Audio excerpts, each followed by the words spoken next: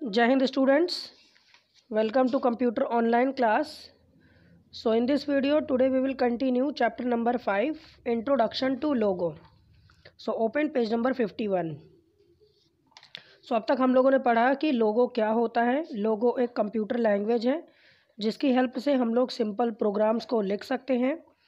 हम लोगों ने सीखा था कि एम लोगो को कैसे ओपन करना है। एमएसडब्ल्यू का फुल फॉर्म होता है Microsoft Windows okay so so, हमने ये भी देखा था कि जब एम एस डब्ल्यू लोगो का विंडो ओपन हो जाता है तो उसके कौन कौन से पार्ट्स होते हैं? मेन स्क्रीन क्या होता है? टाइटल बार क्या होता है? मेन्यू बार कमांडर विंडो ये सारी चीज़ें क्या होती है? सो so, आज हम पढ़ने वाले हैं टर्टल तो देखिए टर्टल के बगल में एक ट्राइंगल शेप है।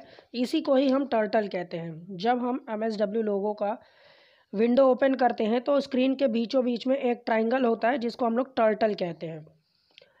When the M S W Logo screen appears जब M S W Logo screen open हो जाता है a triangle is seen in the centre of the graphics window तो जो ग्राफिक्स विंडो होता है, वहाँ पर एक ट्राइंगल दिखाई देता है, जिसे हम कहते हैं turtle this triangle is known as turtle इस ट्राइंगल को हम लोग टर्टल कहते हैं।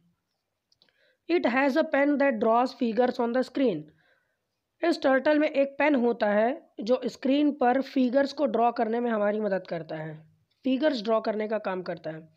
The turtle moves all over the screen as per the commands given by you in the input box और इनपुट बॉक्स में जो हम कमांड देते हैं उसी के अकॉर्डिंग ये टर्टल पूरे स्क्रीन में मूव करता है और डिज़ाइंस बनाता है फिगर्स बनाता है। सो so, इसे टर्टल इसलिए कहा जाता है क्योंकि टर्टल मतलब कछुआ होता है तो टर्टल इसलिए कहा जाता है क्योंकि बहुत स्लो स्लो चलता है। जितना हम इनपुट बॉक्स में अपने कमांड को टाइप करेंगे, इसी तरह से उतना ही ये चलेगा, उसके आगे नहीं चलेगा तो इसीलिए इसे टर्टल कहा जाता है। So next heading is primitives primitives क्या होते हैं?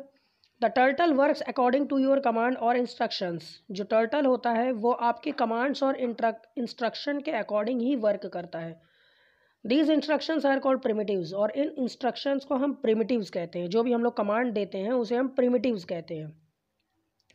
Some of the primitives are F D B K R T L T and home तो कुछ प्रिमिटिव्स के बारे में हम चैप्टर में पढ़ने वाले हैं, जैसे कि F D B K R T L T और home you can move the turtle using this primitives to draw various figures और अगर आपको इस टर्टल की हेल्प से, अगर आपको स्क्रीन पे कोई फिगर बनाना है, कोई कोई ड्राइंग बनानी है तो आप किस तरह से ड्रॉ कर सकते हैं? इसलिए आपको प्रिमिटिव्स पढ़ना बहुत ज़रूरी है कि प्रिमिटिव की हेल्प से ही हम लोग कोई भी फिगर को ड्रॉ करते हैं। तो फ़र्स्ट प्रिमिटिव है हाइड टर्टल इसका शॉर्टकट होता है एच टी इसी को हम लोग प्रिमिटिव कहते हैं एच टी जब हम एच टी लिखेंगे तो होगा क्या? H T command is use to hide the turtle हमारा जो टर्टल है वो हाइड करने के काम में आता है। देखिए, आप लोग स्क्रीन में देख रहे होंगे कि फ़र्स्ट वाले स्क्रीन में आपका टर्टल नहीं है, गायब हो चुका है, क्योंकि यहाँ पर एच टी कमांड दे दिया गया है। जब हम एच टी कमांड टाइप करके अपने इनपुट बॉक्स में एंटर करते हैं तो हमारा जो टर्टल है, वो हाइड हो जाता है, छुप जाता है। We can see the finished drawing without the turtle और जब हमारी ड्राइंग फिनिश हो जाती है, तब हम इस टर्टल को हटा देते हैं हाइड कर देते हैं, ताकि हमको पूरा फिगर अच्छी तरीके से समझ में आ जाए। नेक्स्ट इज़ शो टर्टल जब अगर हमने हाइड कर दिया है तो वापस उसे कैसे ला सकते हैं? तो उसे ला सकते हैं एस टी से। एस टी का फुल फॉर्म होता है शो टर्टल इसका फुल फॉर्म आपको याद करना है. S T command is use to bring back to the turtle on the screen screen में वापस से टर्टल को लाने के लिए एस टी कमांड का यूज़ किया जाता है. S T S T input box में लिख के एंटर करते हैं. तो हमारा जो टर्टल है वो वापस से स्क्रीन पर शो होना शुरू हो जाता है. नेक्स्ट कमांड इज़ फॉरवर्ड ये जो कमांड है, ये इंपॉर्टेंट कमांड है आप लोगों का. Forward command the forward of the F, और द एफ़ डी कमांड। आप फॉरवर्ड लिखिए, चाहे एफ़ डी लिखिए, एफ़ डी का फुल फॉर्म होता है फॉरवर्ड। तो आप फॉरवर्ड पूरा कैपिटल लेटर से भी लिख सकते हैं, या एफ़ डी भी लिख सकते हैं तो वो फॉरवर्ड ही माना जाएगा। Is use when you want to turtle to move forward. अगर आप अपने टर्टल को आगे मूव कराना चाहते हैं मतलब आगे फॉरवर्ड तो हम एफ़ डी कमांड का यूज़ करते हैं। देखिए, जैसे आपका ये टर्टल है, वो स्क्रीन के बिल्कुल सेंटर पर होता है। और जब हम इस टर्टल को मूव कराने मूव कराने की कोशिश करते हैं आगे तो हमें लिखना पड़ता है F D means forward but forward के बगल में हमें एक नंबर भी देना पड़ता है कि कितने स्टेप्स इसे चलाना है। तो ten twenty thirty forty twenty five जितने भी स्टेप्स हमें इसे चलाने हैं, उतने स्टेप्स लिखना पड़ेगा। चलिए पेज नंबर फिफ्टी टू से समझते हैं।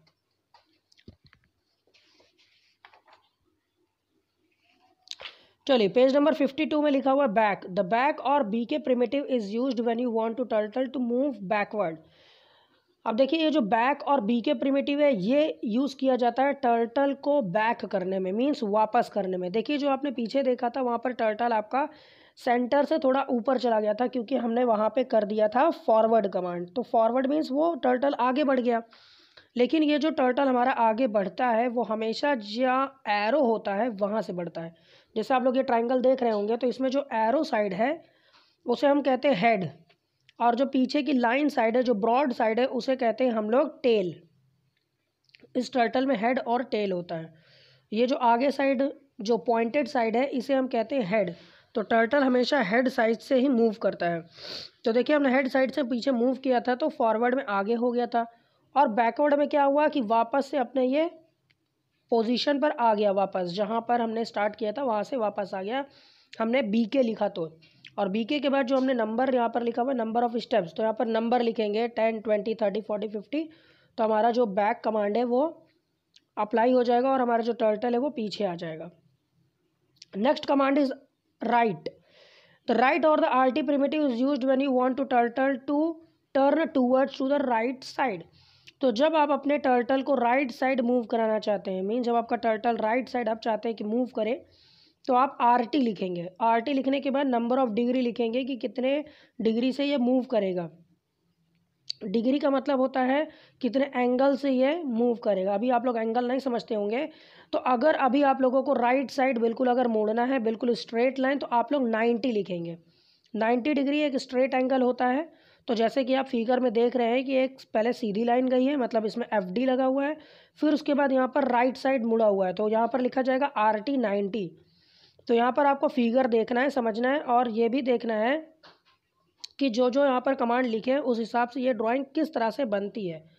तो आप लोग यहाँ पर देख सकते हैं कि सबसे पहले यहाँ पर लिखा हुआ है कमांडर विंडो में F D F D fifty लिखा हुआ है। तो देखिए यहाँ पर फिफ्टी आगे मूव किया है।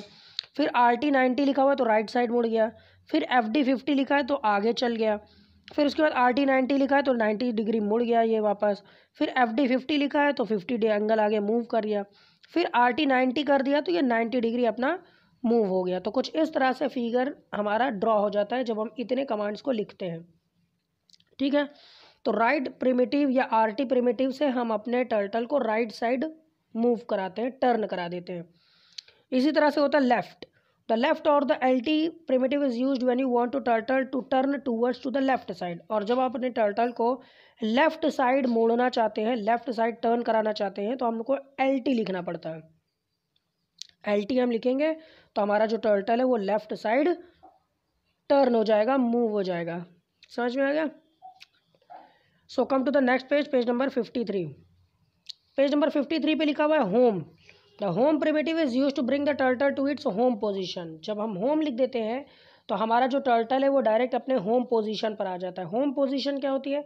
जो स्क्रीन की सेंटर होती है, उसे हम होम कहते हैं। The centre of the screen is called home.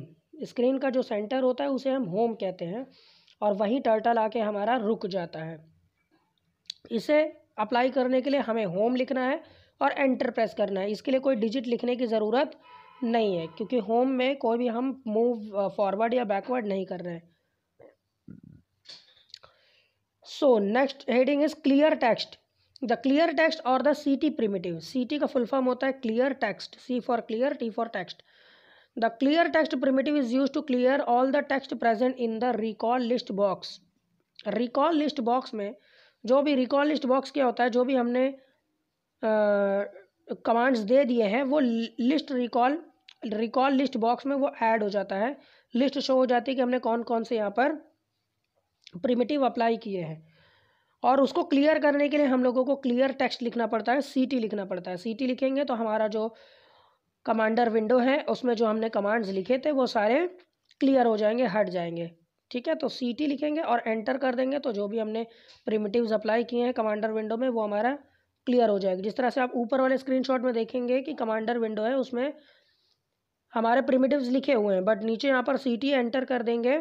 C T लिख करके एंटर कर देंगे तो कमांडर विंडो हमारा क्लियर हो जाएगा और उसमें कोई भी टेक्स्ट नहीं शो करेगा।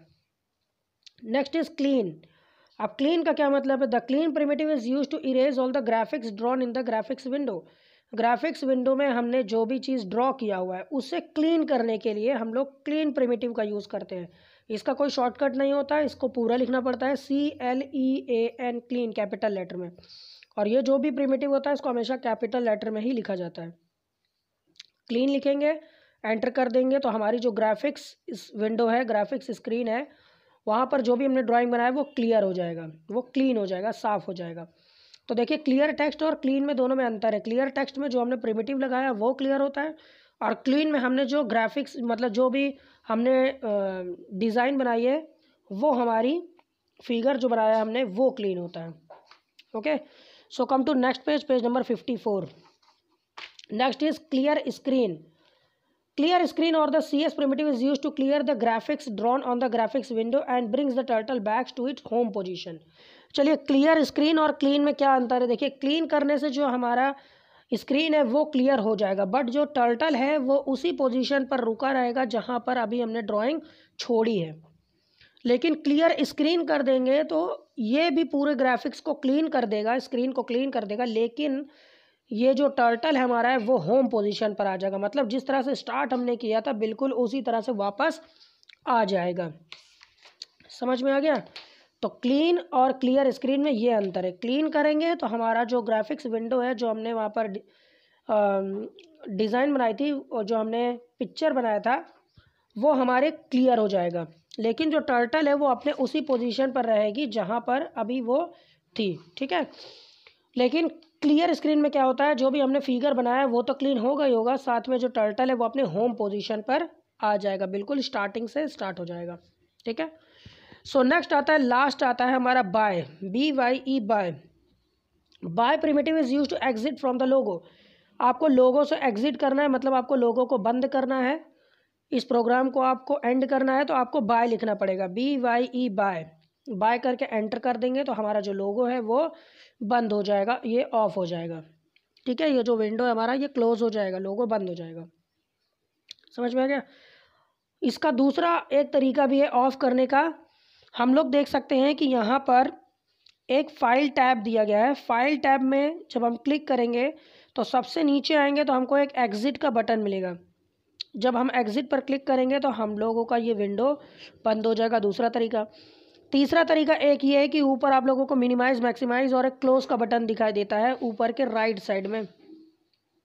राइट साइड में आप क्लोज बटन पर क्लिक कर देंगे, जो क्रॉस बना हुआ है, उस क्रॉस पर जब आप क्लिक कर देंगे तो भी आपका ये क्लोज हो जाएगा। तो क्लोज करने के तीन तरीके हैं।